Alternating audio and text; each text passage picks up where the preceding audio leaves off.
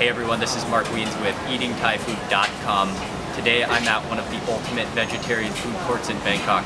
It's called Baan Suan Pai, also known as Banana Family Park. Of course, if you're vegetarian or vegan, you're gonna absolutely love this place. The food here is so delicious that you'll want to eat here even if you're a carnivore.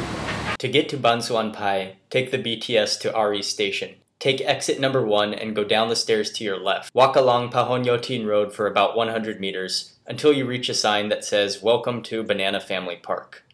Turn right into the small cafe alleyway.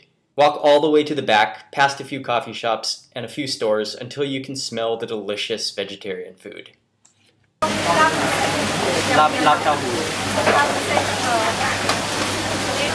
It's like a food court style, so you order your food here and then you go sit at a table.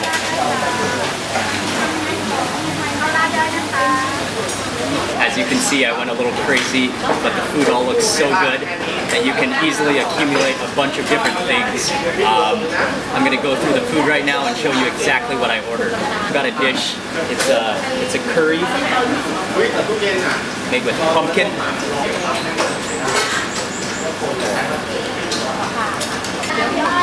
Bitterness is an excellent flavor, but you it does take a little getting used to. I love it. I love it. This is called Tog, and this is taro ground up, and then it's fried on the outside into a loaf. Add some of this sauce. We've Got a quick dish here called Teow Rusuan. It's like a noodle wrapper filled with lettuce, some herbs.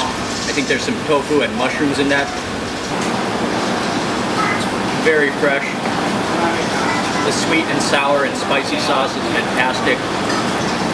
It's probably my favorite thing at this whole restaurant. These beautiful skewers of steak. No, they're not steak actually.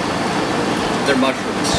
I Just wanted to mention the vegetarian Thai food guide it's an 80-page ebook stuffed with useful information and tips about how you can order and eat the tastiest vegetarian and vegan food Thailand has to offer. If you're vegetarian, if you're vegan, or even if you just want to start eating healthy, delicious Thai food, make sure you get your own copy of the vegetarian Thai food so you can take advantage of this awesome food. It's just incredible. Um, anyways, as you can see, I still have a bunch of food left on the table. I'm about to dig in, finish it all. Finished off all of the food except for this last bite, which is the last remaining piece of Het Home Ping, the absolute sirloin Kobe beef of all mushrooms, and it's fully vegetarian.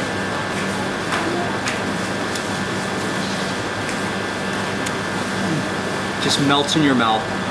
It's juicy, it's tender. That'll put a smile on your face any day. Thanks for watching this video. When you're in Thailand, make sure you eat and sample all kinds of delicious Thai vegetarian food. And don't forget to check out the Vegetarian Thai Food Guide.